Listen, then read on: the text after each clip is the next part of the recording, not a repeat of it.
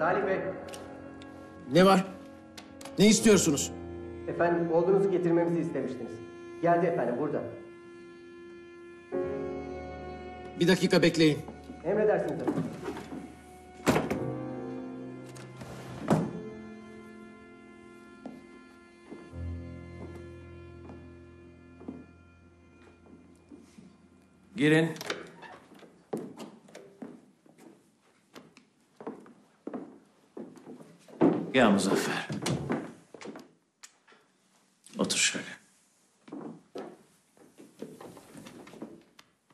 Seni böyle apar topar getirdim ama mühim bir şey söyleyeceğim. Buyurun baba. Okul nasıl? İyi gidiyor mu? İyi gidiyor baba.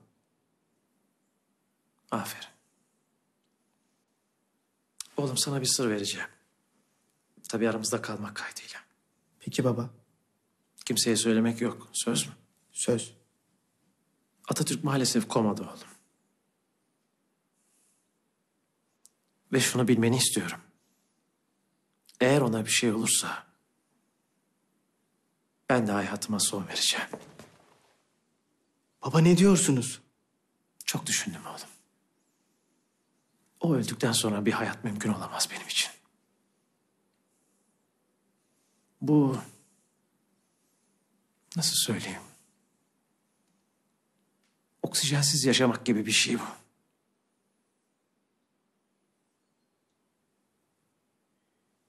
Ağlama. Ağlama bakayım. Bilirsin sevmem erkeklerin ağlamasını. Gel buraya.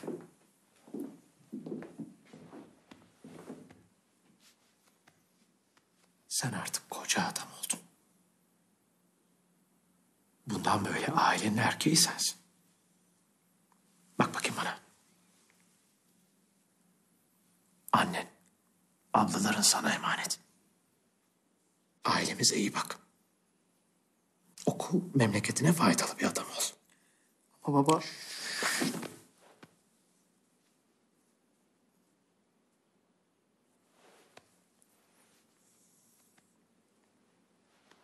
Elveda oğlum.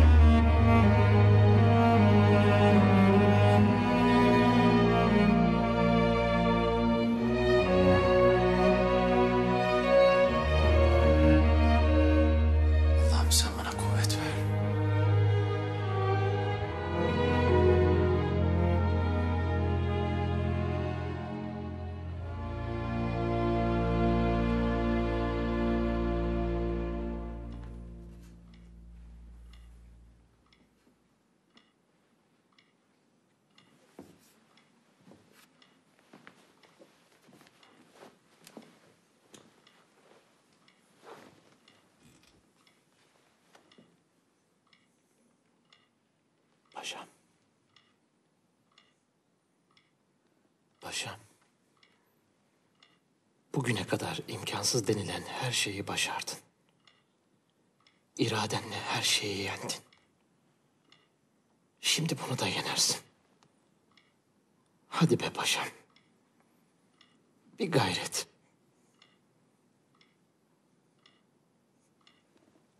Beni duyduğuna eminim paşam. Bak söylüyorum. Eğer sana bir şey olursa... Bil ki ben de arkandan gelirim. Gidemez paşa yaversiz bir yere.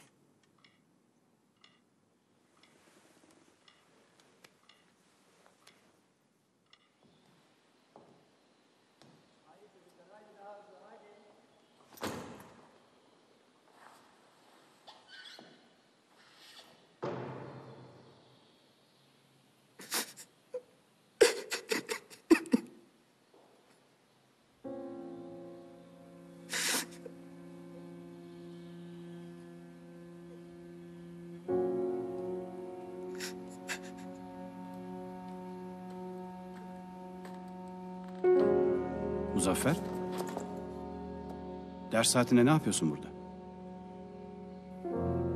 Ne yapıyorsun dedim. Niye girmedin derse? Niye ağlıyorsun oğlum? Bir şey mi var? Hayır efendim. O zaman bu halin ne oğlum? Gel bakayım şöyle. Evladım biliyorsun ben babanın dostuyum. Hadi anlat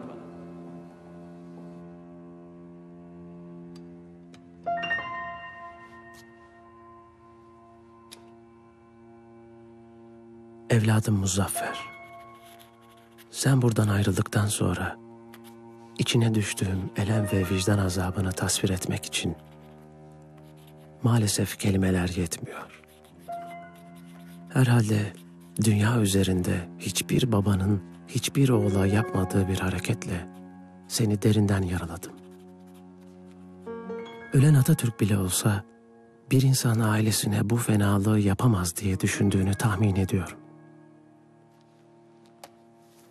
Bu sebeple sana ölümümden sonra verilecek olan bu mektubu yazmaya ve durumu açıklamaya karar verdim. Bizim hikayemiz Selanik'te başladı oğlum. Selamünaleyküm. İkimiz de altı yaşındaydık.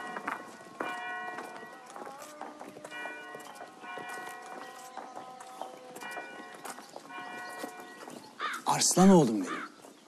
İşte bir gün sen de böyle talebe olacaksın. Ne oldu? Hoşuna gitmedi mi? Ama çok tuhaf giyiniyorlar baba. Başka okula gitsen. Gidersin gitmesine ama annen senin Molla Fatma Kadın Mektebi'ne yazılmanı istiyor. Ama baba. Oğlum, annen senin hoca olmanı istiyor. Mahalleden dualarla, ilahilerle uğurlanmanı istiyor. Yapalım onun isteği. Üzülme bu kadar delikanlı. Önce annenin istediği okula seni bir yazdıralım. Sonra bakarız. Hadi gel.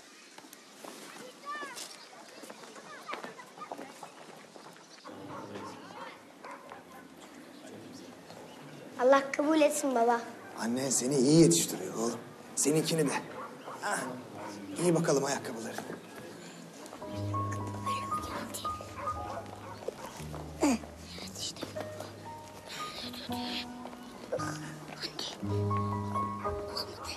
Mustafa babasını çok severdi.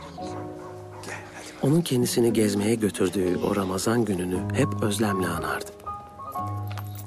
O dönemin Selanik şehrinde Müslüman, Ortodoks, Yahudi, bütün Osmanlı vatandaşları huzur içinde yaşıyorduk. Uuu baba. Gündüz gibi olmuş burası. Tabii oğlum. Selanik'e gaz geldi artık. Birkaç seneye kadar bizim evlerimiz de böyle aydınlanacak. Baba bu lambaları Allah mı yakıyor? Hayır oğlum. Allah çok büyük bir kuvvet. Bizim lambalarımızla uğraşmaz. Lambaları gaz yakar. kaz mı? Bizim bahçedeki kaz mı? Maskara şey. Kaz olur mu hiç? Gaz, gaz. Az yakmıyor mu baba? Yanmaz oğlum. Gel. Var. Bana bir eğlence medet. Hacivat defol git başka yerde bağır yahu. Aman bana bir eğlence medet. Hacivat bak kızıyorum ama. Yar bana bir eğlence. Nasıl eğlence? Anlamaz pis komitacı seni. Al bakayım al. Ama. Utanmadan Osmanlı'ya kafa? Aman aman aman. Nasıl da yakıştı benim oğluma. Sanki küçük bir hoca. Benim oğlum hafız olacak. Hoca olacak. Kur'an okutacak. Ha? He mi annem? Nasıl? Ha? Mustafa. Ah Sübeyde Hanım'a. Nereden çıktı bu mahalle mektebi? Bir asri mektebe gönderseydik oğlanı. Asker çıkardı sonra. Bak çocuk kendisi de istemiyor. Anlamam ben asri mektep falan Ali Rıza Efendi. Defalarca münakaşa ettik bunu. Mustafa hoca olacak. Hadi. Sübeyde.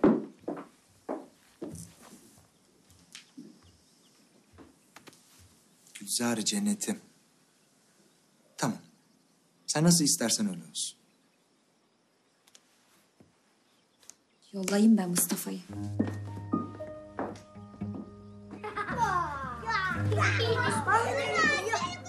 Okuldaki ilk günümüzdü. Mustafa'yı yakalayayım derken hocanın rahlesini devirdim.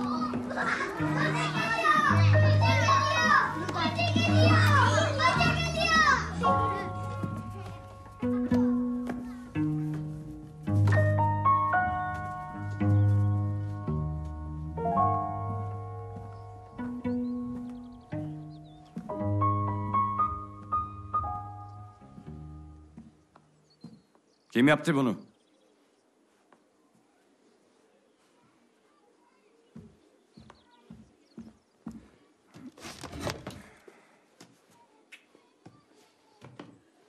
Kim yaptı bunu diyorum size? Sen mi yaptın? Sen mi yaptın Fre? Sen mi yaptın?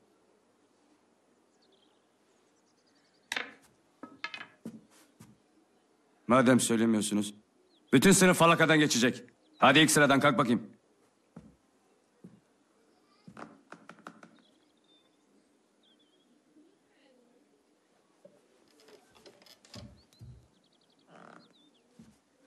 Sen mi yaptın? Evet. Nasıl oldu bu iş? Koşarken oldu. Yetişip kakışıyor muydun biriyle? Hayır. Bana bak. Yanında kim vardıysa söyle. Dayağı ikinize bölüştüreyim. Yoksa tek başına sen yiyeceksin. Kim vardı yanında? 40 yıllık hocayım ben. Bir hale durup dururken devrilmez böyle.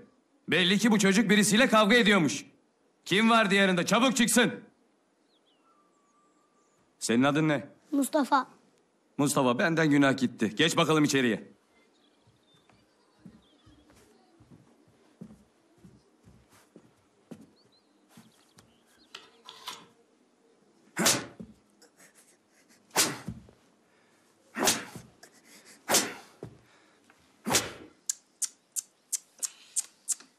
Şimdi ayağına bir lapa yaparım bir şeyciğin kalmaz.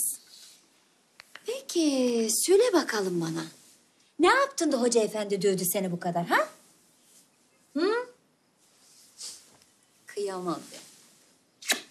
Hadi sen az uyu. Ha? Ben şimdi senin lapanı yapayım. Zalim adam. El kadar çocuğun canını çıkarmış. Uyu annem hadi. Geç Salim. Yormayasın Mustafa'yı fazla. Merhaba. Merhaba. Aa! Çok acıyor mu? Eh biraz. Yok yok acıyordur da sen söylemiyorsun. Bugün korktun mu? Evet sen korkmadın ama. Korktum da belli etmedim. Al sana bahçeden alıç topladım. O gün beni dayak yemekten kurtarmıştı. Ama onun ayaklarına inen her darbeyi ben de yüreğimde hissetmiştim. Sıkıca tut. Ne olacak bu? Saz yapacağım. He, tahta parçasından saz olur mu? Günlerimiz hep beraber geçiyordu. Dayısının onu eve çağırdığı günse keyfimize diyecek yoktu. Manastırın ortasında. Çocuklar, çabuk buraya gelin. Oğlum.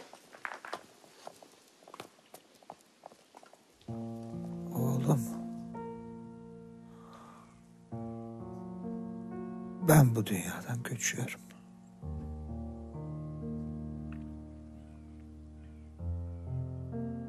Şu kılıcı al.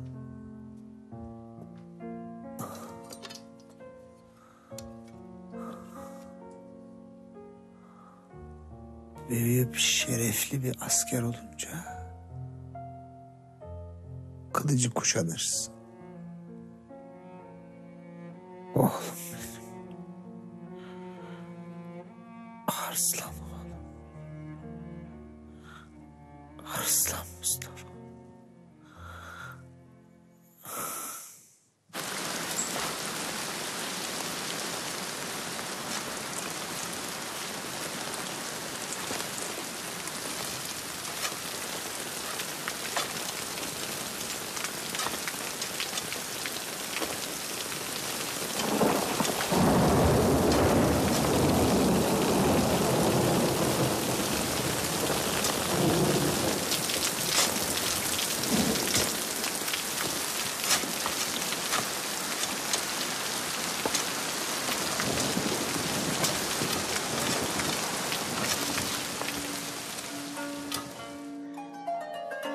Selanik içinde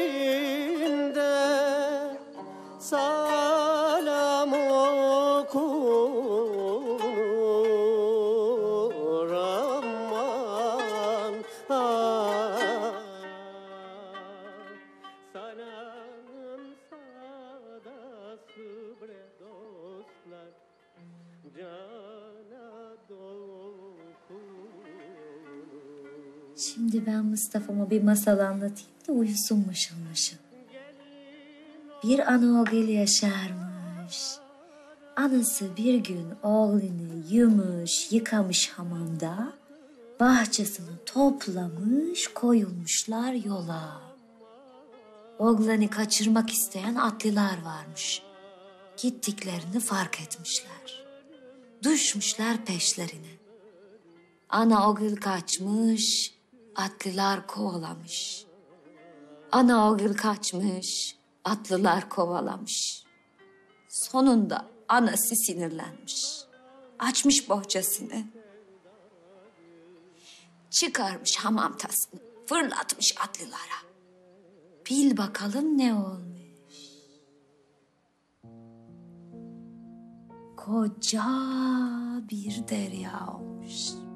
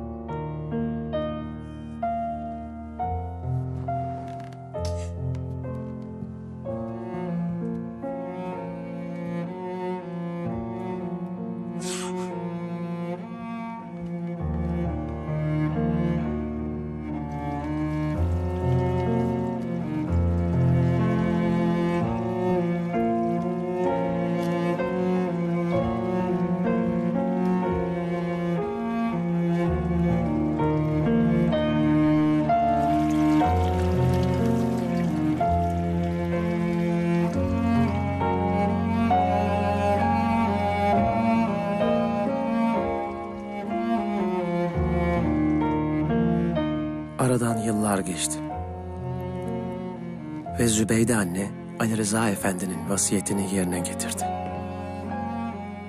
İkimiz de askeri ortaokulda yatılı okuyorduk. Zübeyde anne büyük sıkıntı içindeydi. Yarı aç, yarı tok yaşıyorlardı ama Mustafa'yı lacivert çuha üniformasının içinde görünce bütün çektiklerine değdiğini düşünüyordu. Bizse üniformamızla gurur duyuyorduk.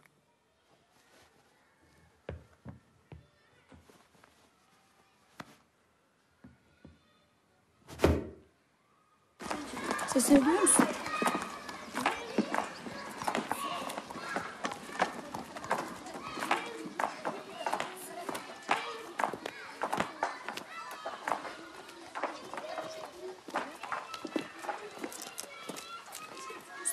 Hadi gel biz de oynayalım. Ben oynamam. Hadi be nazlanma. Oynamam dedim. Amma da huysuzsun ha. Bütün çocuklar oynuyor.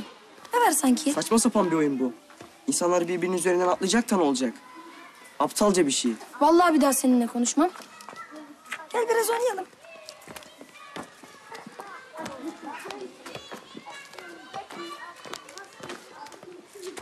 Hadi biz de oynayalım. Tamam oynasın.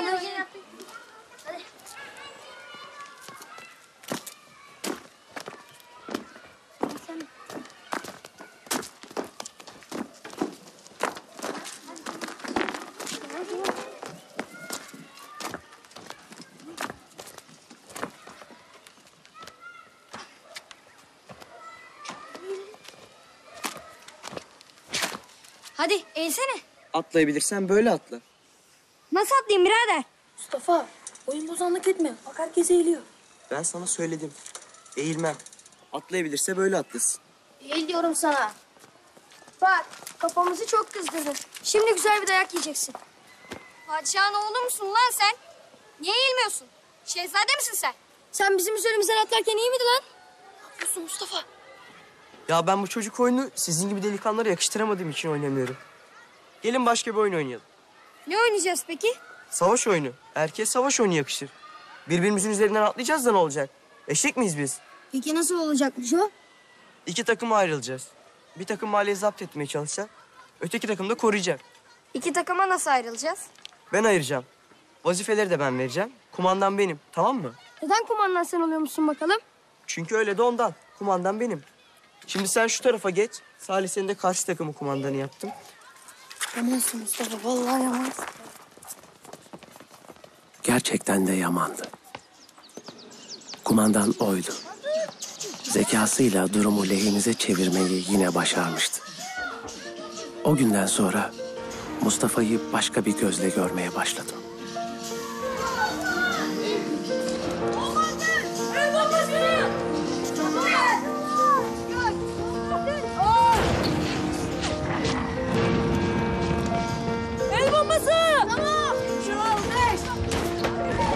Çekiliyoruz.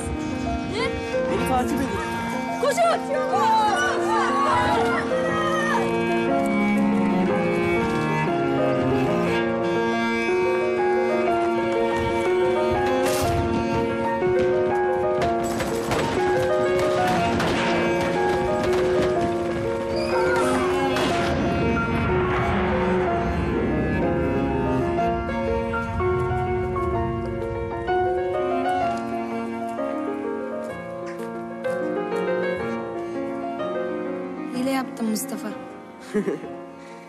savaş oyunu bu.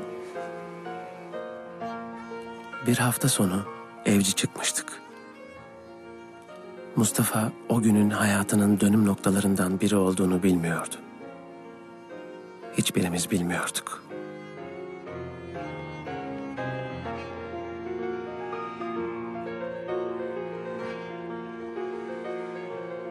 Hoş geldin. Mustafa değil mi? Ragıp Efendi, yemek hazır. Sofraya buyurun.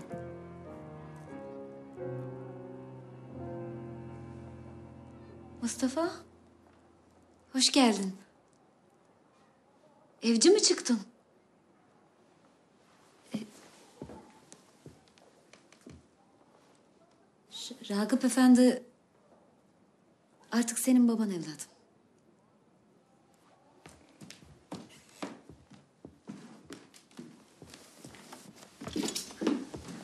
Mustafa.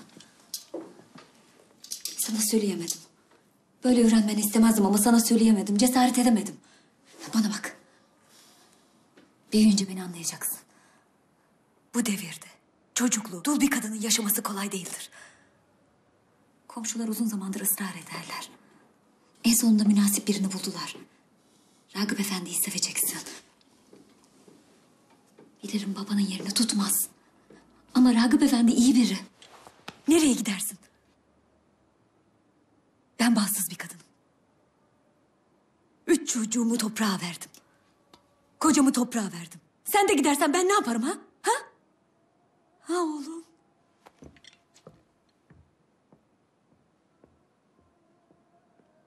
Mustafa o akşam halasına gitti. Ve aylarca orada kaldı. Bu arada Zübeyde anne kahroluyor. Oğlunu görmenin yollarını arıyordu ama Mustafa Nuh diyor, peygamber demiyordu. Mustafa'm, nasılsın? Eve dön oğlum. Ha? Anacığına dön, ha? Mustafa! Mustafa!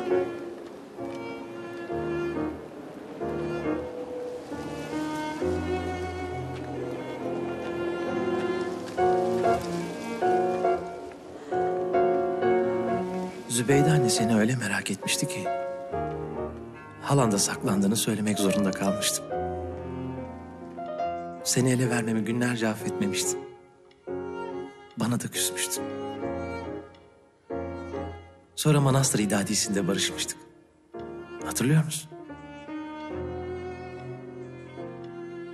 Hayatta sana üç kere ihanet ettim paşa. İlki buydu.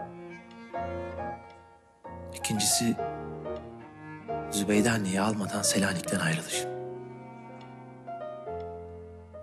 Üçüncüsünü ise daha bilmiyorsun.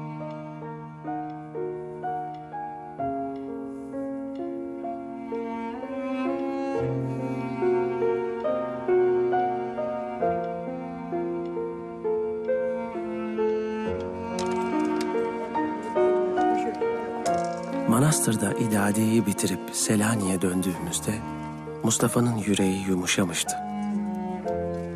Annesini çok özlediğini ve onu anlamaya başladığını hissediyordum. Nitekim döner dönmez önce annesinin evine gitti.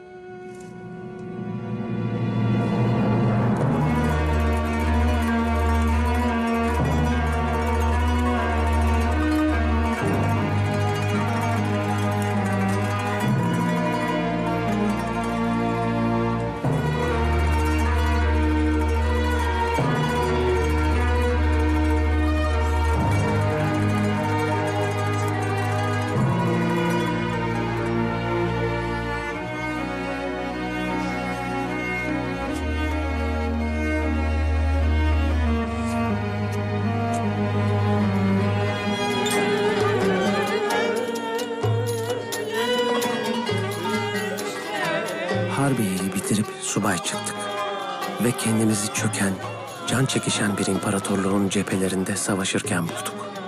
Selanik'te vedalaştığımız o geceyi hiç unutmayacağım. Hadi.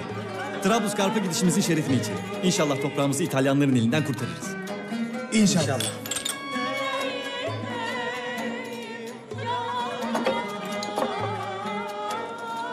Ben Selanik'te kalmayı tercih ederdim ama görev görevdir. Neden? Selanik'i korumak için. Gidişle Selanik'i de kaybedeceğiz. Allah korusun Mustafa. Neler söylüyorsun sen? Arkadaşlar, görmüyor musunuz? Her gün bir parçamızı koparıyorlar bizden. Bir daha dünya gözüyle Selanik'i görememekten korkarım. Eğer böyle bir şey olursa annem ve kız kardeşim sana emanet Salih. Sen onları merak etme. Zübeyde anne öz annenden önce gelir. Bilirsin.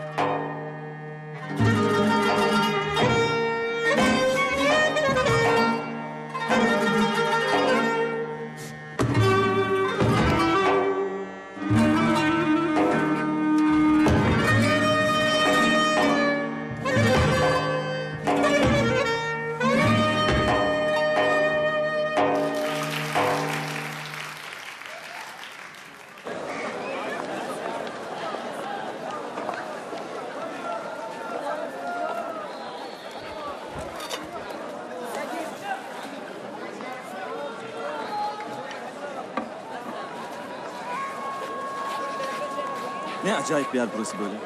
Acayip bir yer dediğinde vatanın bir parçası değil mi Nuri? İyi ama buraları korumak için kan dökmeye değer mi Fethi? Ah, şimdi Selanik'te olmak vardı. Ah Selanik. Gel Ziya Paşa'yı hatırlama şimdi. Diyar küfrü gezdim. Beldeler, kaşhaneler gördüm. Dolaştım mülki İslam'ı, bütün viraneler gördüm. Doğru söze ne denir Mustafa? İşte bu yüzden imparatorluğumuzun geleceği Garp medeniyetindedir arkadaşlar. İstikametimiz bu olmalı. Herkes böyle düşünüyor ama çaresi ne? Çaresi, çaresi bulunur elbet. Elbet bulunur mu? İnte. İnte rahisir padişah.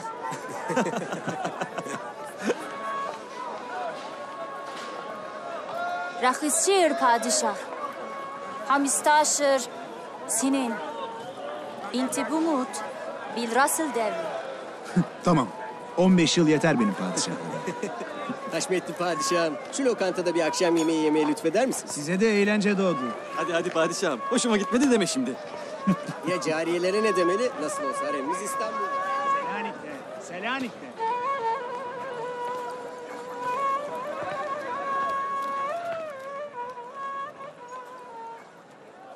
Onlar Trablusgarp'tayken Selanik elden gitmişti.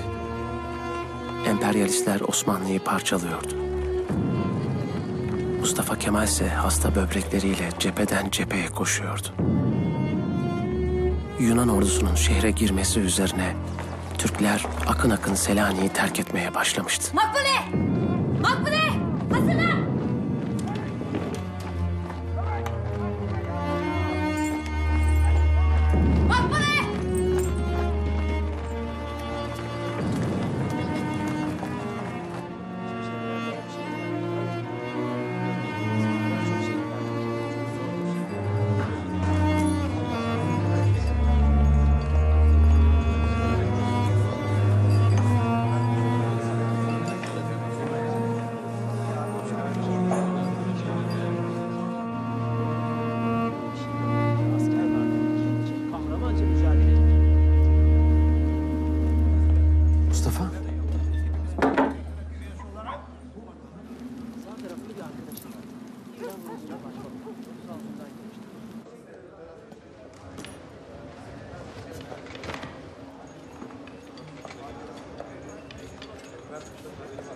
Nasılsın?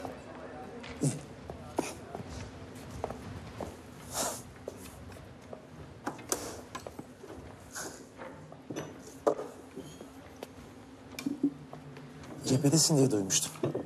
Öyle. Ama hayattayım çok şükür. Bugünlerde bundan daha fazlasını aramamak lazım zaten. Salih. Annemden haberin var mı? Nerede olduğunu biliyor musun? Ah Mustafa, bilemiyorum ki. Balkanlardan yüz binlerce insan yollara düştü. Yayan yapıldak İstanbul'a geliyorlar. Kimisi geldi bile. Çetelerin katliamından kaçıyorlar. Zübeyde anne de inşallah sağ salim varmıştır buralara. Annemle kız kardeşimle meşgul olamadın mı? Maalesef be Mustafa. Selanik düşünce padişahı apar topar gemiyle buraya getirdik. Ah be Salih.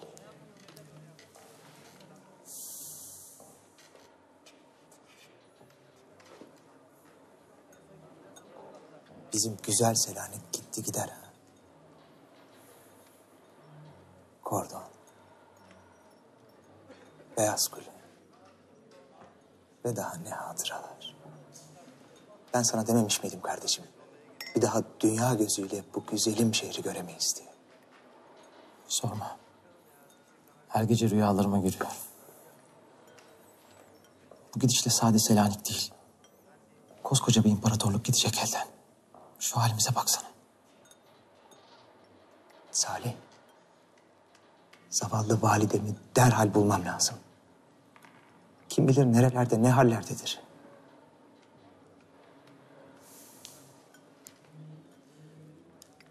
Her gün muhacirlerin toplandığı yerlere gidiyorum ama nafile. İnşallah sağ salim gelmiştir İstanbul'a. İnşallah. Sen aileni getirebildin mi?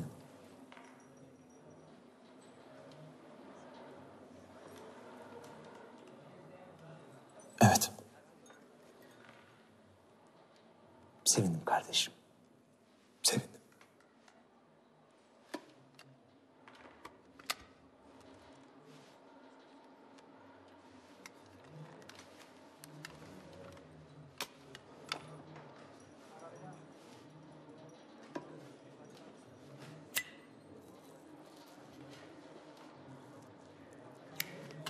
Yeni cami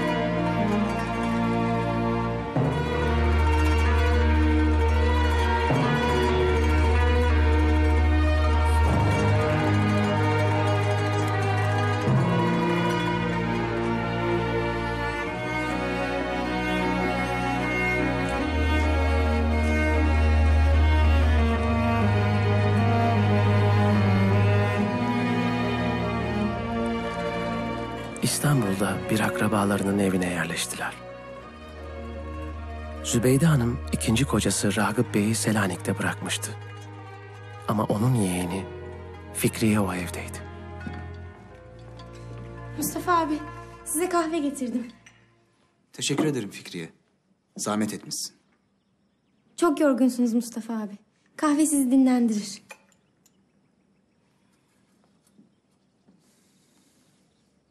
Bu kıtlıkta lokumu nereden buldun? Birkaç tane saklamıştım. Biraz bayat ama Onu da bana mı ikram ediyorsun? hayır. Hayallerimin kahramanı olan kumandanı ikram ediyorum.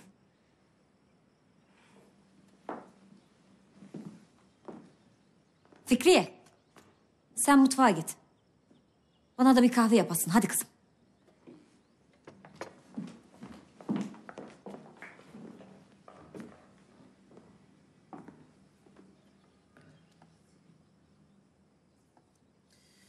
Yorgunluğun geçti mi anacık? Geçti. Seni gördüm. Hepsi geçti. Doktor bey müsaade ederseniz bir şey sormak istiyorum. Tabii Salih Bey buyurun. Atatürk hakkındaysa... eğer- Hayır, hayır. Harpteyken kafasından vurulan asker çok gördüm. Bazıları ölmüş, bazıları da ölmeyip kör kalmıştı. Böyle bir şey mümkün müdür? Mümkündür tabii. Beynin bazı noktaları hasar gördüğü zaman öldürücü olmasa da kör bırakabilir ya da başka sakatlıklara sebep olabilir. Peki kalbe giden her kurşun öldürücü olur mu? Evet, evet öldürür. Çanakkale'de bir gün Atatürk'ün kalbine bir şarapnel parçası isabet etmişti de. Çok şükür bir şey olmamıştı. O yüzden soruyorum, kalbe nereden giren kurşun kesin olarak öldürücü olur? Şuradan girerse kesinlikle öldürür. Kesinlikle.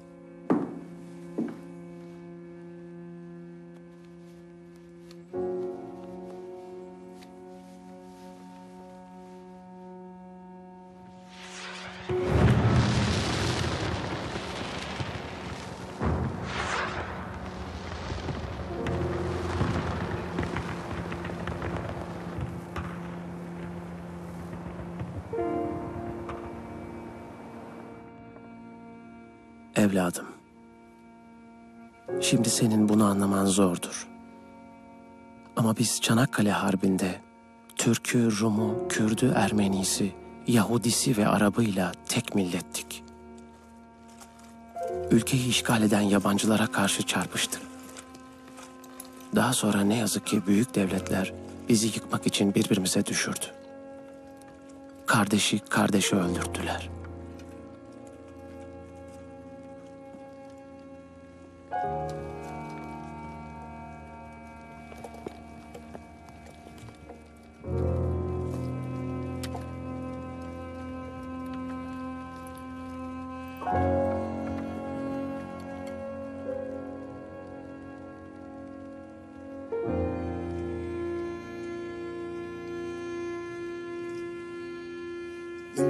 Anzak askerleri tepenin arkasında.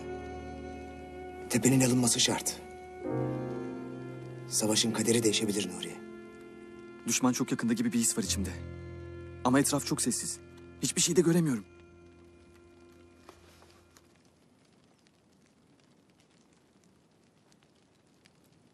Geceden indirme yapıldıysa bir tuzak olabilir. Bunu anlamanın tek yolu var. Mustafa ne yapıyorsun?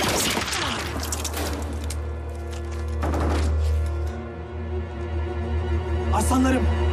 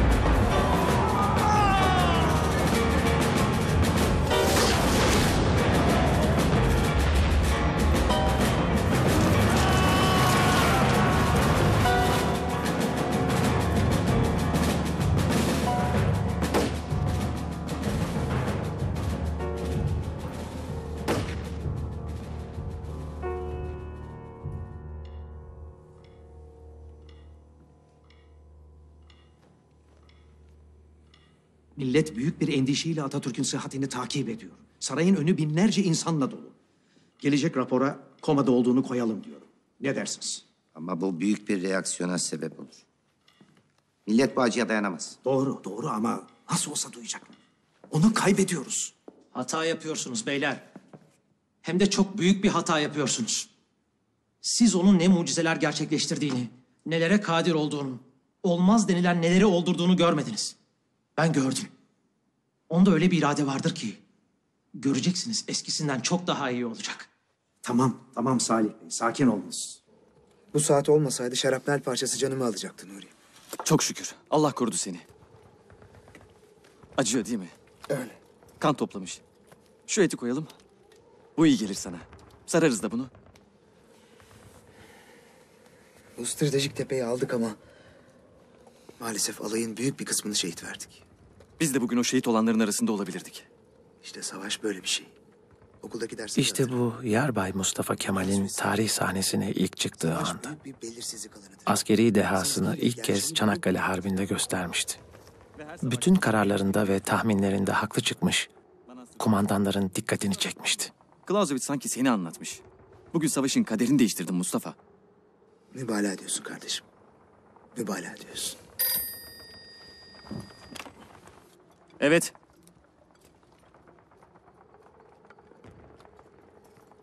Liman Van Sanders'in karargahından arıyorlar. Kumandan seni tebrik etmek istiyormuş.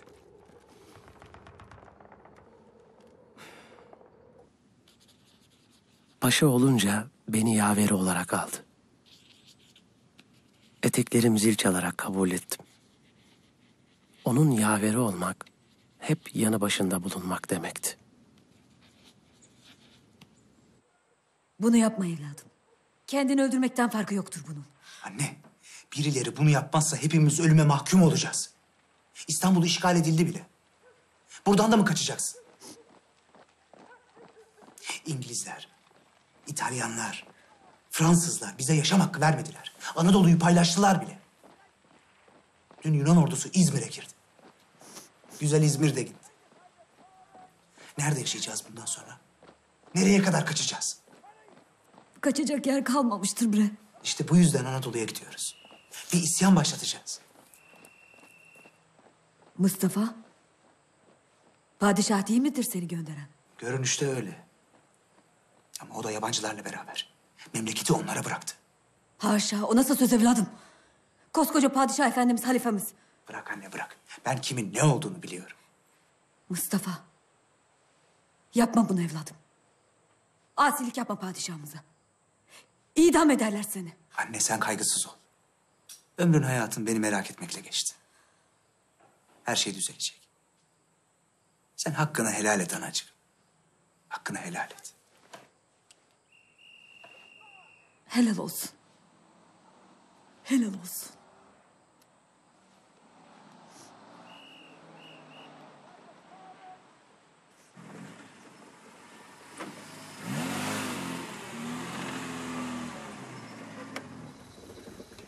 Yine durduk. Bu bizi Erzurum'a kadar götürebilecek mi? Ne diyorsun? Kusura bakmayın paşam bu hurda çok eski. Ama siz biraz istirahat buyurun ben hemen hallederim.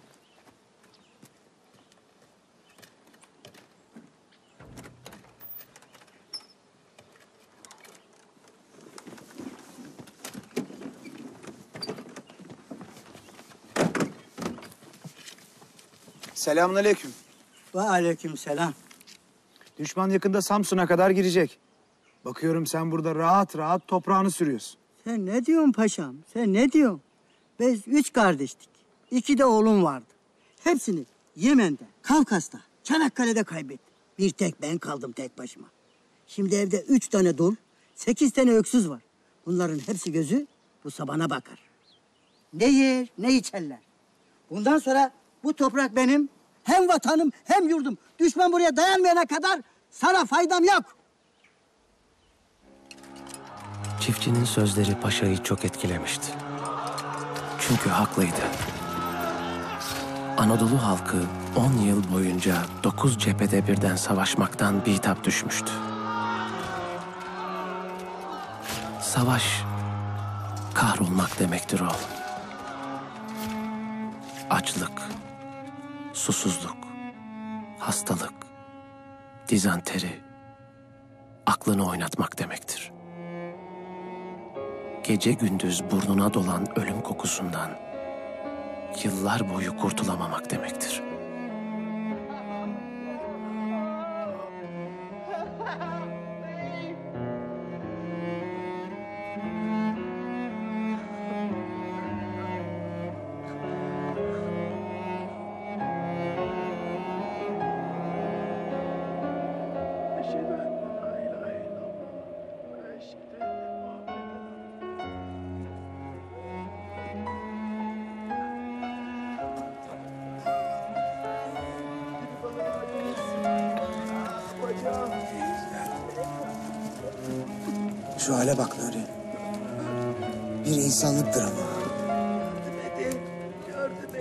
Kadar genç insanın bir arada ölmesi bir trajedi.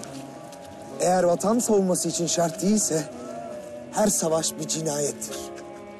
Herhalde dünya tarihinde hiçbir komutan böyle bir cümle söylememiştir. Söylemesin. Bu yine de her saldırı savaşının bir cinayet olduğu gerçeğini değiştirmez.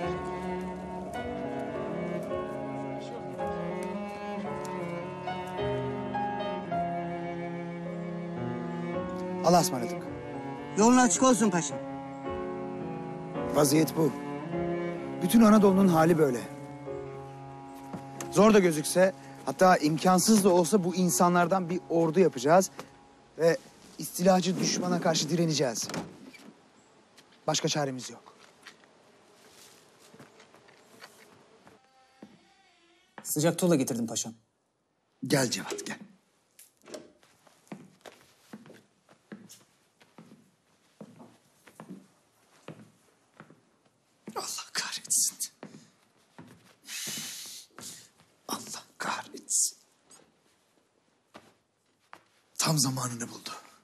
Çok mu sancınız var paşam? Çok.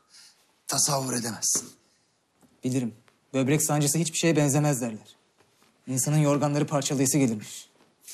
Bu yorganı bile ödünç aldık çocuk. Nasıl parçalayayım? Sizin esaslı bir tedaviye ihtiyacınız var paşam. Bir hastaneye yatsınız. Güldürme beni Cevat Allah aşkına. Hiç halim yok. Ne hastanesinden bahsediyorsun sen? Sizi derhal telgrafhaneye bekliyorlar paşam. Harbiye Nazırı sizinle bizzat görüşecekmiş.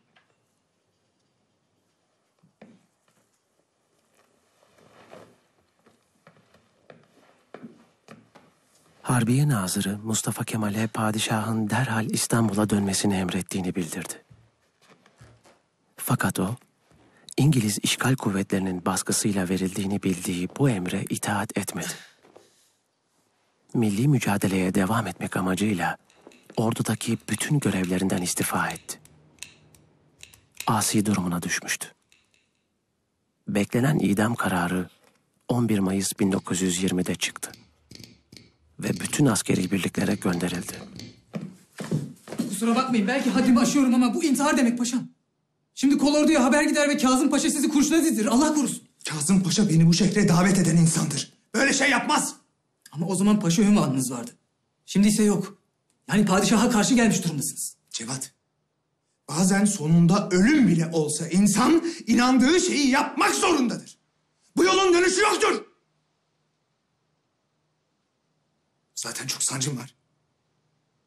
Bir de sen uğraştırma beni.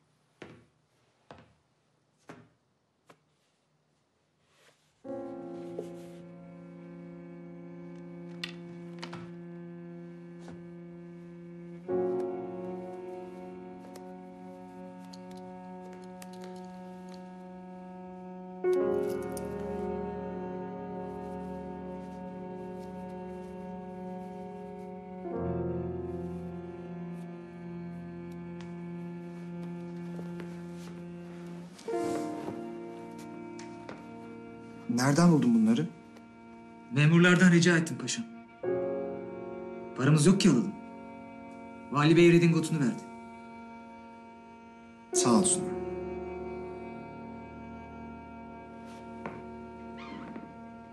Cevat. Şimdi beni iyi dinle. Buyur paşam. Bu tehlikeli yolda başıma bir şey gelirse derhal Salih'i bulmanı istiyorum. Annem ve kız kardeşim ona emanet. Fikriye de. Olur paşam. Kafkas Kolordu Kumandanı Kazım Paşa geldiler. Buyursunlar.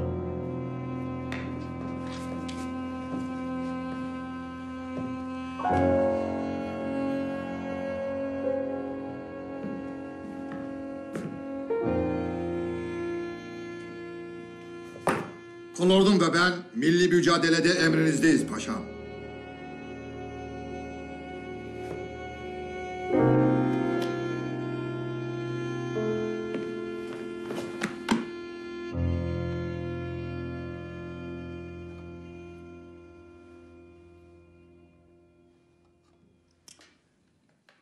Şimdiden uyarıyorum arkadaşlar.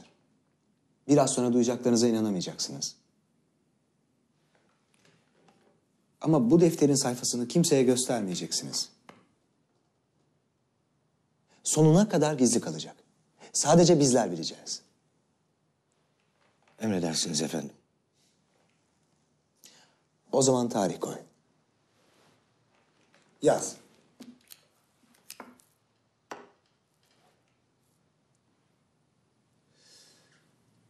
Zaferden sonra hükümet şekli cumhuriyet olacak.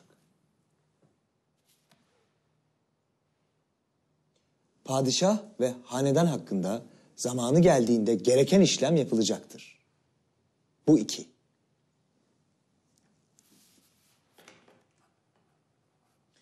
Üç.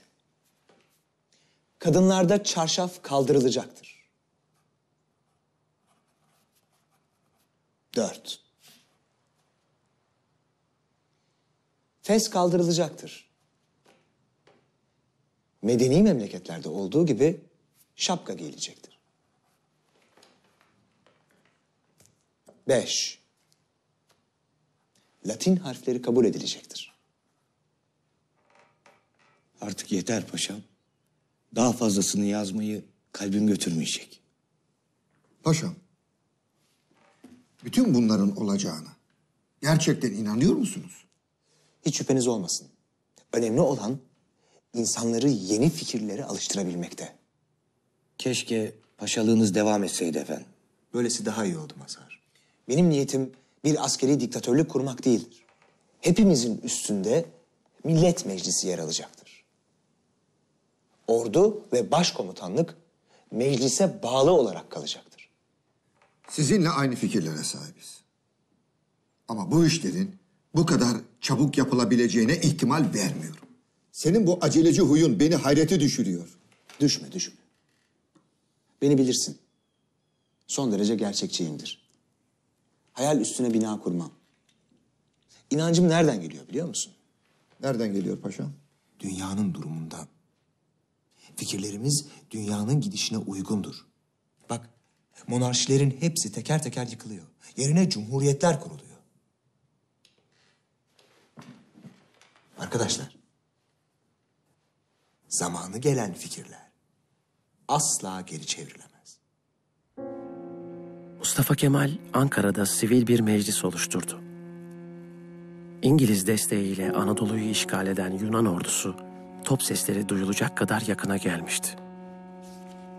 Bu sırada Fikriye İstanbul'dan Ankara'ya gelmek istediğini bildirdi. Paşanın söküklerini diker, yemeğini yaparım diyordu. Sonunda paşa bu işe izin verdi. O geldikten bir süre sonra da Çankaya'da paşaya hediye edilen bir eve geçtik.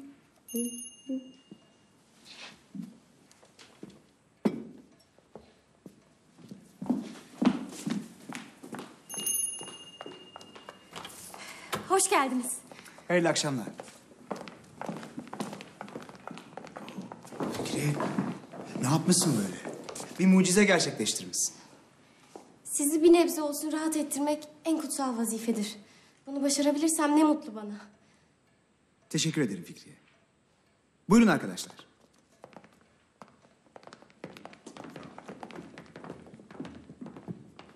Fikriye, senden bir istirham olacak. Buyurun Mustafa abi. Hatırım için başını açar mısın? Ama evde yabancı erkekler var. Fikriye, burada sana kötü gözle bakacak kimse yok. bir inkılap yapacaksak buna kendi evimizden başlamamız gerekir. Lütfen.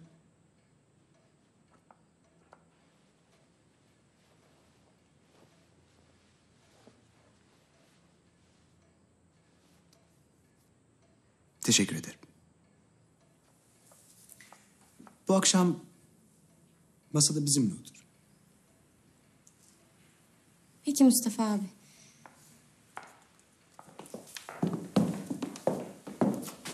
Masaya buyurun arkadaşlar.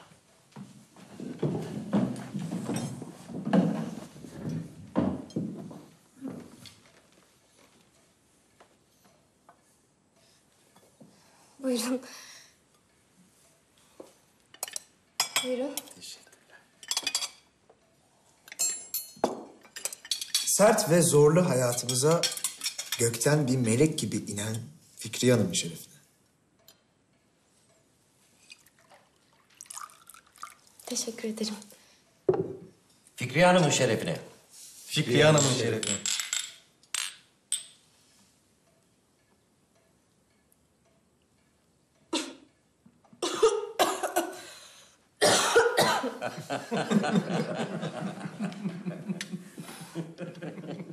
Şu inan başkumandanı merak ediyorum doğrusu. Acaba ne çapta bir asker? Bizim planlarımızı sezebilecek mi? Senin planlarını anlayabileceğini hiç sanmam. Zavallı adam neredeyse Anadolu'nun yarısını işgal etmiş durumda. Ama bilmiyor ki seninle karşı karşıya. Yapmayın paşam. Beni mahcup ediyorsunuz. Paşa Hazretleri de sizin mevkinizde bir asker. O diyorsa mutlaka bir sebebi olmalı. Tamam, tamam. Hadi buyurun. O zaman dünyanın en büyük kumandanı Mustafa Kemal Paşa şerefine.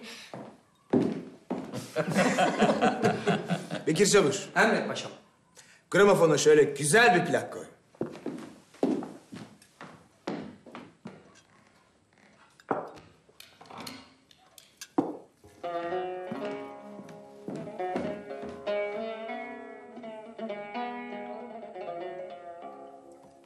Bu plak bozuk. Birazdan takılır.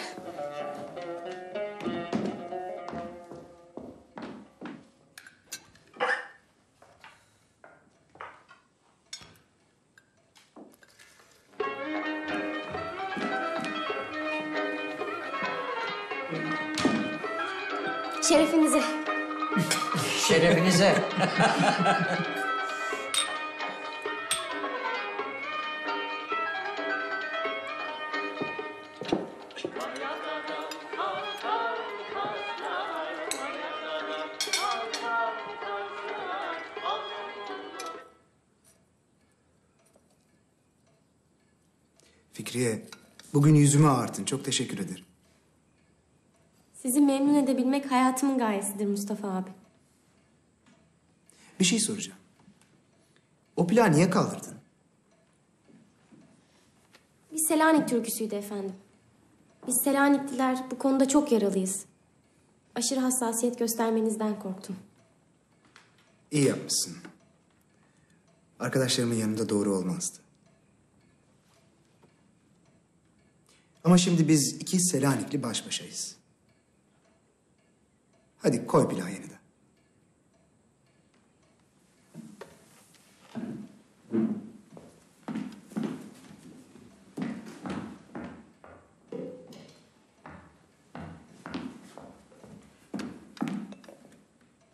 Plak yerine ben size çalsam Mustafa abi.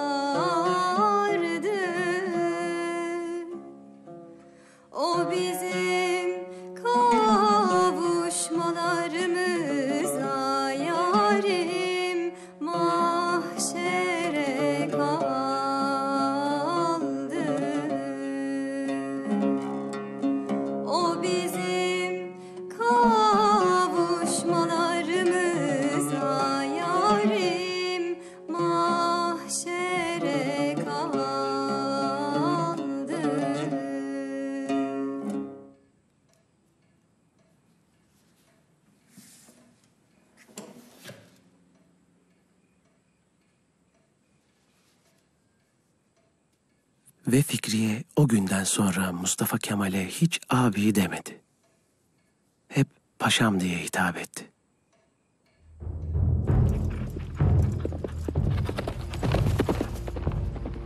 Mustafa Kemal'in ustaca planları sayesinde Yunan kuvvetleri her cephede yenilmeye başladı. Her şeyini kaybetti denilen Millet Meclisi ordusu zafer üstüne zafer kazanıyordu.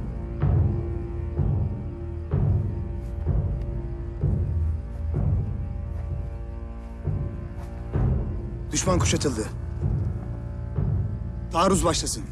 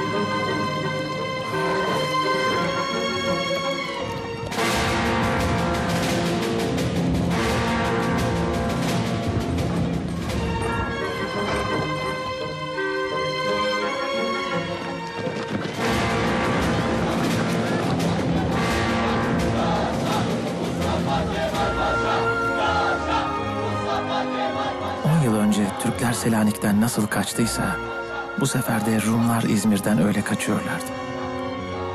Evini kaybetmek ne demektir? Bilen bilir oğlum. Atalarının mezarlarını, hatıralarını, çocukluğunun geçtiği sokakları, ilk aşkları terk etmek demektir bu. Elinde bir tek gözünü yaşartan türküler.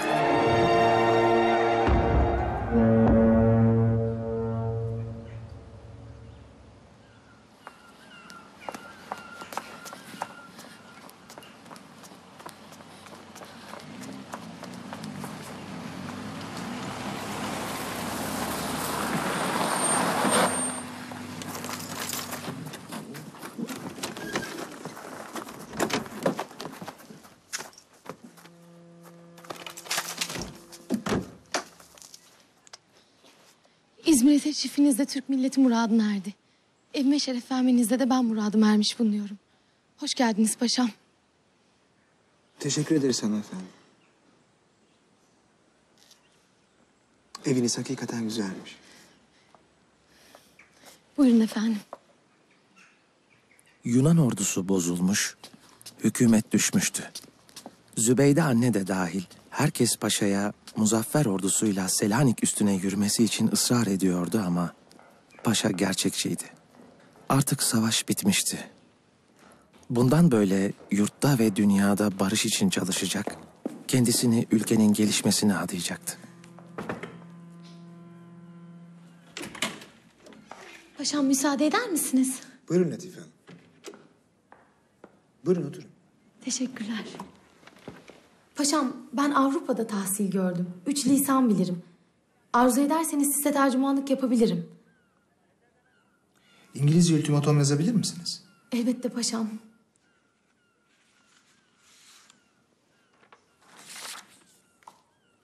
Buyurun yazın lütfen.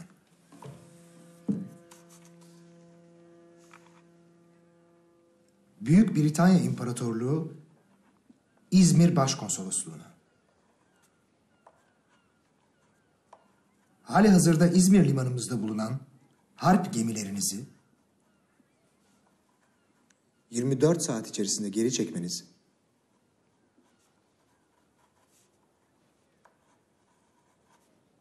uygun bulunmuştur.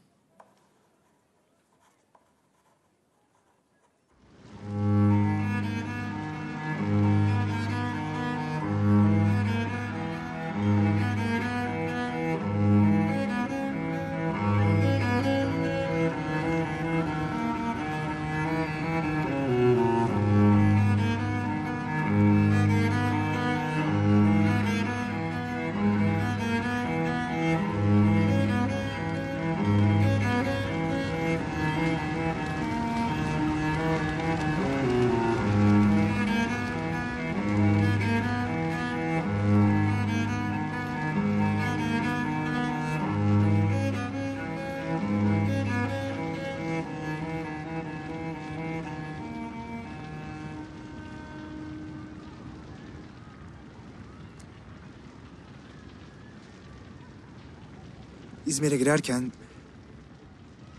bu güzel şehre zarar verirsek çok yanarım demiştim. Oysa şimdi görüyorum ki İzmir gözlerimizin önünde cayır cayır yanıyor. Üstelik bizim elimize geçmişken.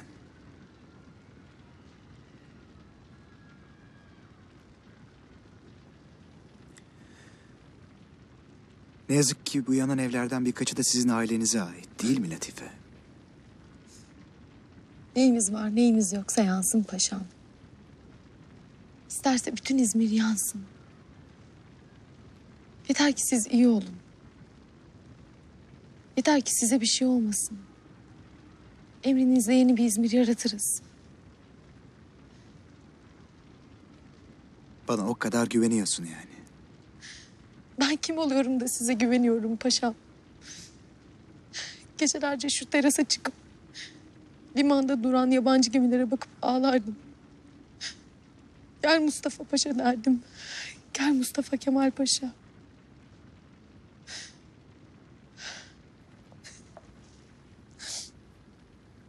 Olmadı çocuk. Olmadı. Ağlama artık. Hadi sil gözünü yaşını.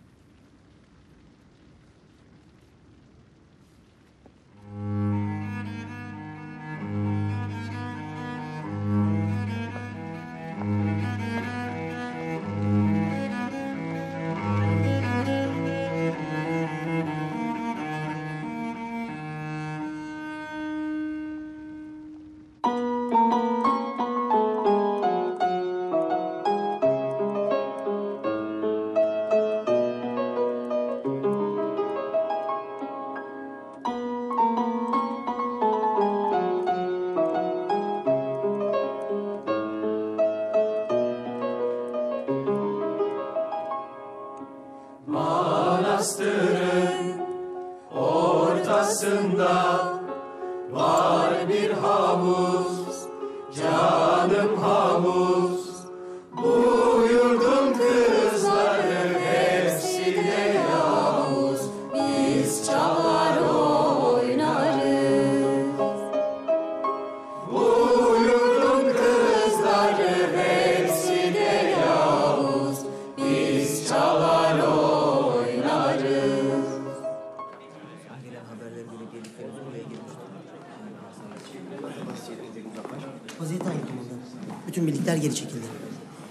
Çok teşekkürler Latife.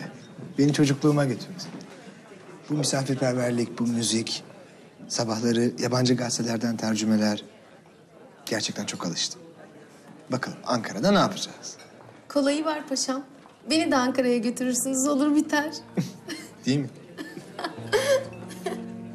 Orada kaldığımız üç hafta boyunca Latife mükemmel ziyafetler düzenledi. Misafirlere piyanoda alafranga eserler çaldı. Paşanın yazılarını tercüme etti.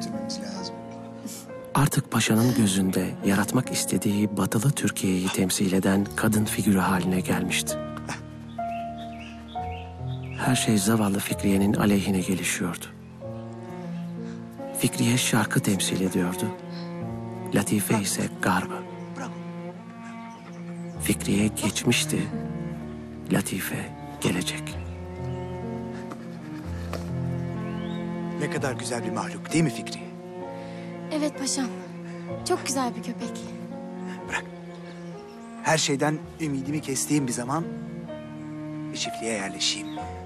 Köpeklerle, atlarla beraber yaşayayım demiştim. Keşke olabilseydi paşam. Ben de size hizmet etseydim. Şimdi de buradasın ya. Evet ama paşam... Bilemiyorum.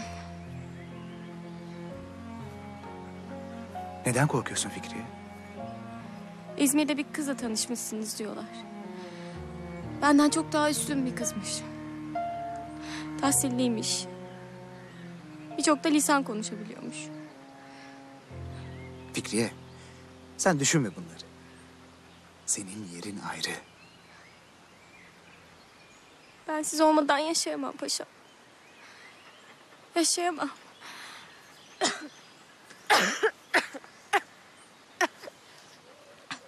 Fikriye. Sen sakladın mı bu hastalığı benden? Hastalık değil paşam. Dişim kanadı sadece. Durumundan anlamalıydım. Ablan da veremden öldü. Derhal köşke gidiyoruz. Doktorları çağıracağız. Paşam. Paşam ne olur. Ben sizsiz yapamam. Lütfen. Doktorlar Fikriye'nin vereminin ileri safhada olduğu teşhisini koydular. Hastalığı hem kendisi hem de paşa için tehlikeliydi. Münih'te bir sanatoryuma yatırılmasına karar verildi. Öleceksen bile senin yanında ölmeyi isterdim. Ölümün lafını bile etme Fikriye. Bu hastalığı yeneceksin ve döneceksin. Ben burada bekleyeceğim. Hadi bin araba.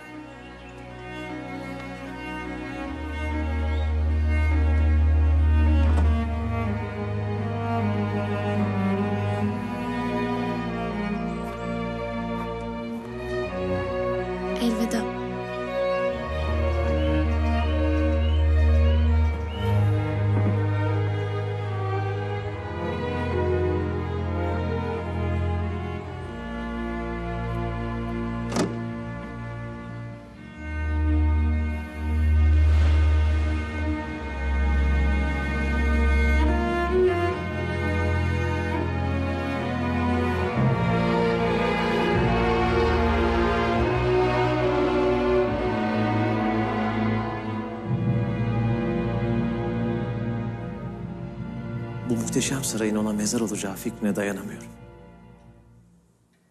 Öleceğini her düşündüğümde kafam infilak ediyor sanki. Hiçbirimizin bu hadiseyi sizin gibi hissedebileceğini zannetmiyorum Salih Bey. Bütün hayatınız birlikte geçti değil mi? Evet. Altı yaşından beri. Biz aynı mekteplerde okuduk. Cüretimi mazur görün Salih Beyefendi. Size bir şey sormak istiyorum. Buyurun. Arkadaşınızı hiç kıskanmadınız mı? Niye o benden bu kadar yükseğe çıktı diye düşünür müsünüz zaman zaman? Ne de olsa hepimiz insanız. Enteresan bir soru sordunuz doktor. Düşünüyorum. Onu hiç kıskandım mı acaba? Bilmem. Belki ilk zamanlar ben niye onun kadar önemli olamıyorum diye düşünmüşümdür. Ama sonra emin olun hiç böyle bir duyguya kapılmadım. Bu nasıl anlatmalı? Bu şey gibi. Hani Ağrı Dağı'nı kıskanabilir misiniz? Yahut gökten geçen bir bulutu. Veya Akdeniz. İşte Mustafa Kemal'i kıskanmak o kadar akıl dışı bir şey benim için. Anlıyorum Salih Bey, sizi çok iyi anlıyorum.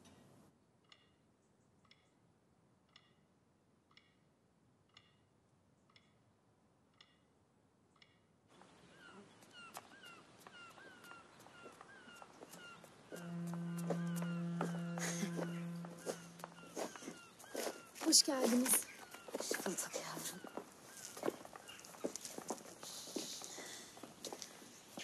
Çok yaşa.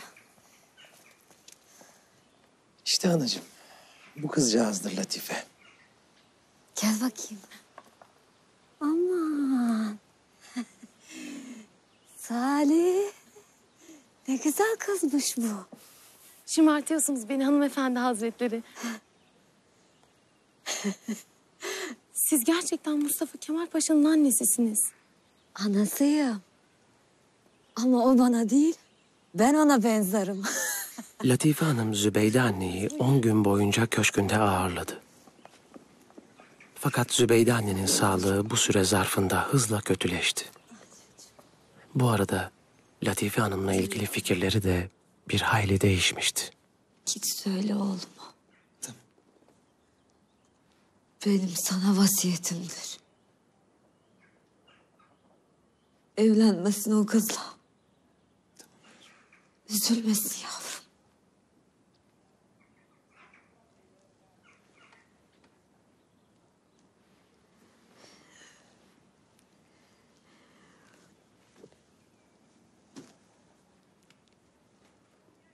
Bunu Mustafa'ma götür.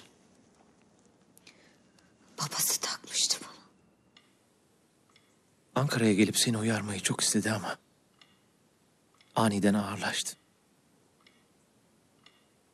Latife ile Mesut olacağını düşündüğüm için bu sözleri sana hiçbir zaman söylemedim. Ve böylece her şeye ben sebep oldum. Evlenmenize de, o korkunç olaylara da, kalp krizleri geçirmene de. Zübeyde anne haklıydı. O hakikati görmüştü ama ben bunu senden sakladım. Ancak şimdi itiraf ediyorum paşam. Kendimi asla affetmeyeceğim.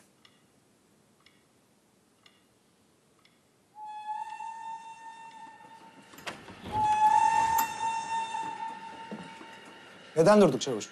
Paşam size acil bir telgraf var.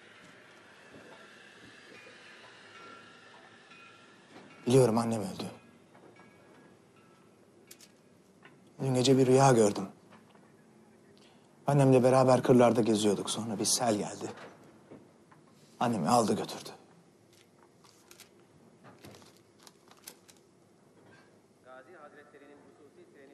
Millet sağ olsun. Siz sağ olun paşam. Yola devam edelim çavuş. Emredersiniz paşam.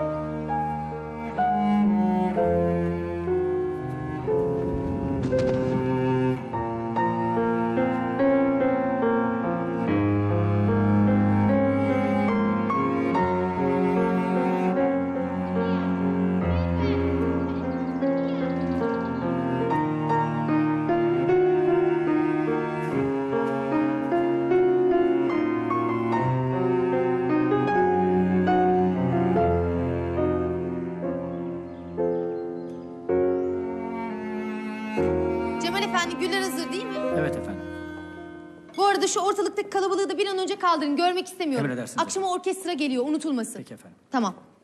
Şu hale bak. Bu tozu da alırsınız umarım. Şu örtüyü kaldırmanızı istiyorum. Peki efendim. Bütün garsonlar eldiven takacak. Unutulmasın. Emredersiniz efendim. Eldiven. Günaydın canım. Günaydın. Latife. Onlar garson değil, asker. Eldiven takmazlar.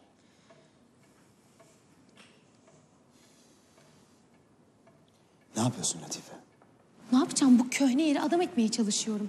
Medeniyet getirmeye çalışıyorum. Onlar yukarı değil aşağı inecek. Söylemiştim. Latife yeter. Tamam. Bak seninle bir anlaşma yapalım. Sen çalışma odasına karışma. Ben de evin geri kalanına. Tamam mı? Peki. Tamam. Şimdilik dediğin gibi olsun.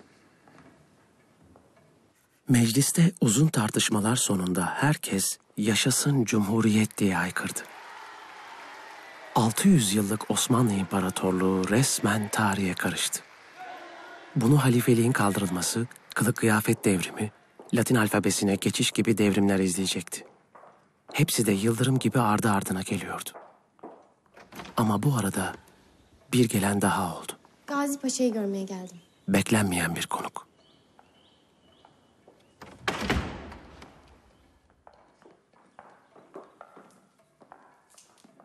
Buyurun hanımefendi.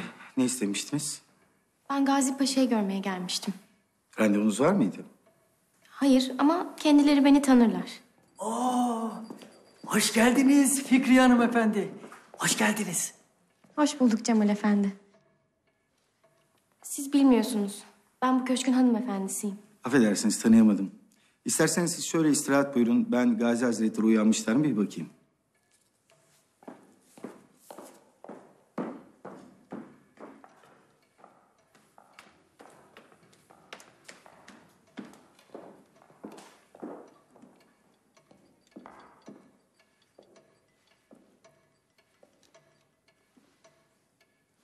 Şey değişmiş Cemal Efendi. Ah hanımefendi ah. Ne siz sorun ne ben söyleyeyim. Latife Hanım değil mi? Müsaadenizle.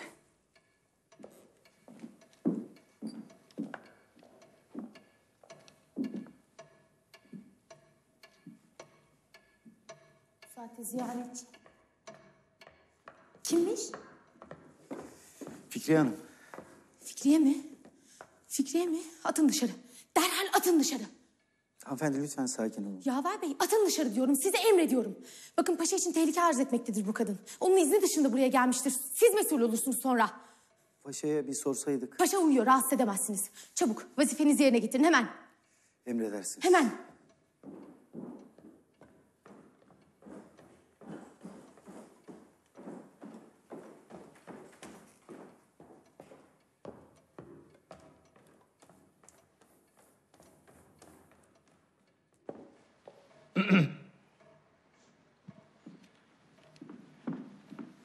Hanımefendi, Gazi Hazretleri uyuyorlar.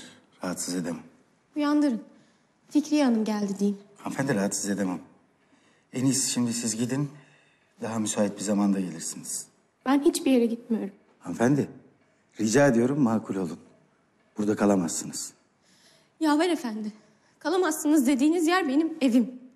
Hanımefendi şunu kesinlikle söylemeliyim ki burayı derhal terk etmelisiniz. O terk etsin.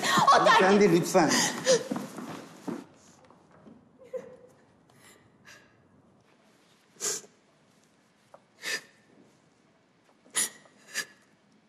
Silah ne? Verin onu bana. Hanımefendi verin onu bana. Bu silahı bana Mustafa Kemal Paşa hediye etti Yaver Efendi. Zorla mı alacaksınız? Madem öyle koyun onu çantanıza. Hanımefendi bakın. Bu iş artık bir emniyet meselesi haline aldı. O yüzden derhal burayı terk edin. Derhal. Yaver Efendi. Terk etmemi istediğiniz yer benim evim. İnanmıyorsanız uşaklara sorun.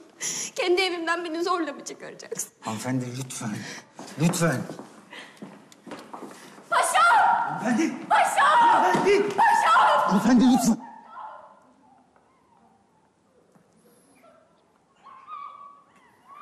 Fikriye. Paşa! Git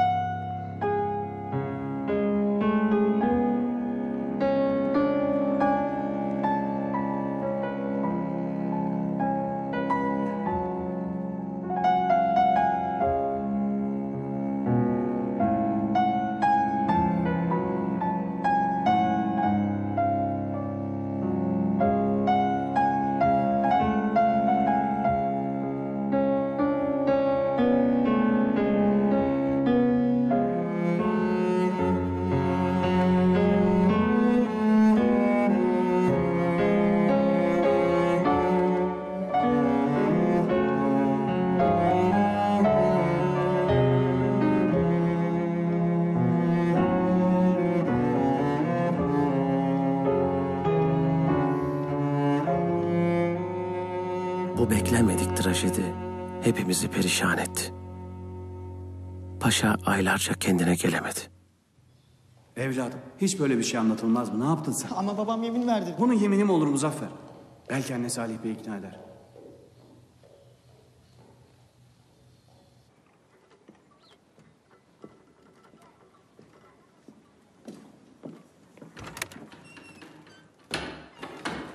Günaydın. Günaydın. Uyanmışsın bu sabah. Hı hı. Sen yorgun görünüyordun. Hiç uyandırmak istemedim. Sağ ol. Bak Kemal, Time dergisi bile seni kapak yapmış. Eski bir orta çağ toplumundan modern bir Türk devleti yarattığın için seni göklere çıkarıyorlar. Gerçi övmeyen var mı? eski düşmanlarım bile. Ama beni en çok eski İngiltere Başbakanı şaşırtmıştı. Türkleri Orta Asya'ya sürmek lazım diyen adam demiş ki birkaç yüzyılda bir dahi yetişir. Bu sefer maalesef Türklere nasip oldu. Bunları bırak da beni asıl senin davranışların ilgilendiriyor. Beni üzüyorsun. ne oldu ki? Daha ne olsun? İnsanların içinde beni mahcup ediyorsun. Hırçınlıklar, münakaşalar. Seni üzmeyeyim istiyorum. Dişimi sıkıyorum. Sabır gösteriyorum ama her şeyin bir sınırı var. Ama Kemal ben her akşam o adamlarla aynı masaya oturmaktan bıktım artık. Onlar benim can yoldaşım. İyi de canım bir evlilik böyle mi yürürmüş? İyi de normal günler yaşamıyoruz ki. Bir medeniyet kuruyoruz. Ne olur biraz anlayış göster Fikriye. Fikriye?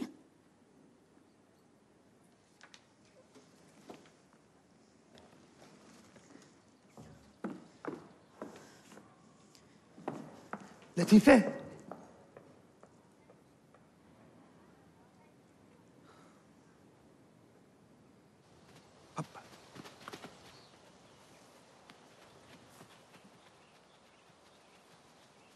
Getir faksı. Bırak onu. Bırak. Aferin.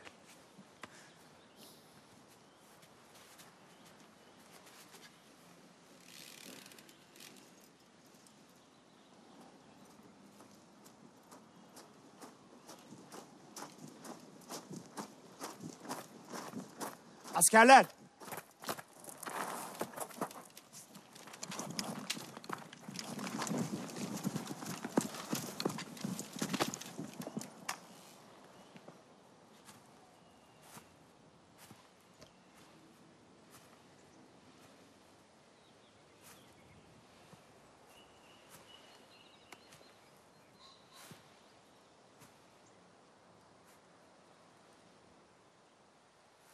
Köyde güreş tutar mıydınız çocuk?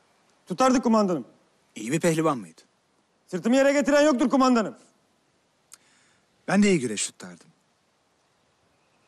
Beni yenebilir misin? Sizi yedi düel yenememiş kumandanım. Ben nasıl yeneyim? Aferin çocuk. Arkadaşlarım bitti şimdi de askerlerle mi sohbet ediyorsun Kemal?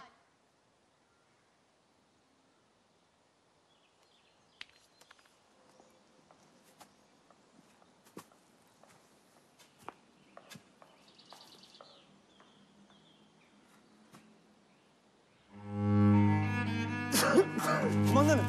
Çabuk su getirin doktor sen çabuk. Bu geçirdiği ilk kriz değildi. O gün hepimiz çok korktuk. Biraz kendisine gelince bana derhal Latife'yi İzmir'e gönder ve boşanma hazırlıklarına başlat dedi. Çok sabretmişti. Ama kararı kesindi. Ondan sonra Latife Hanım'ı bir daha hiç görmedi. Af dileyen mektuplarına da cevap vermedi. Beni duyuyor musun paşam? Duyuyor musun beni? Şimdi doğrulup bu saraydan kaçmaya ne dersin? Ha paşam. Hani seni sevdiğin gibi. Her zaman yaptığın gibi. Kimseye haber vermeden. Ne dersin paşam? Hatırla ey peri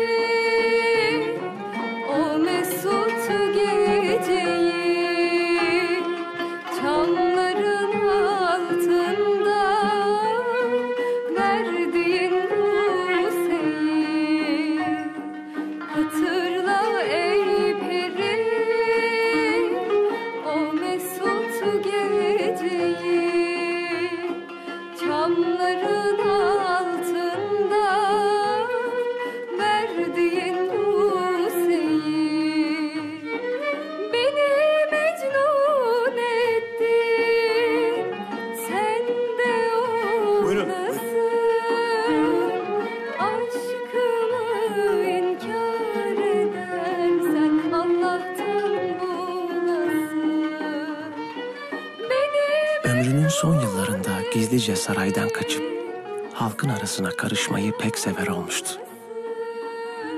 Türk toplumunun modernleşmesini yakından izlemek istiyordu.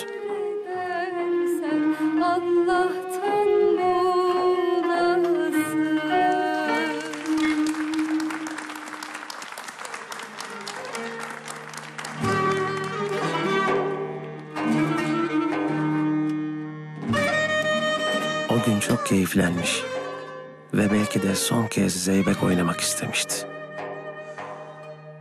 Ama artık sağlığı buna el vermiyordu. O anda büyük bir acıyla gözlerinde ölümü gördüm. Paşam.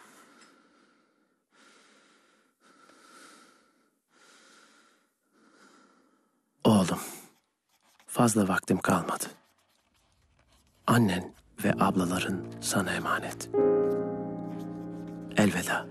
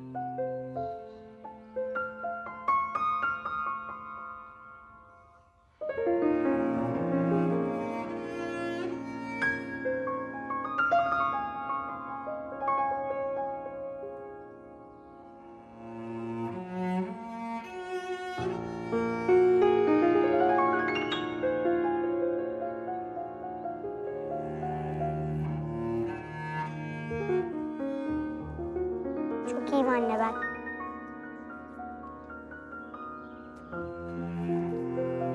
Anne, masalın sonunu hiç bana anlatmadın. Annesi kurtarabilmiş mi çocuğunu?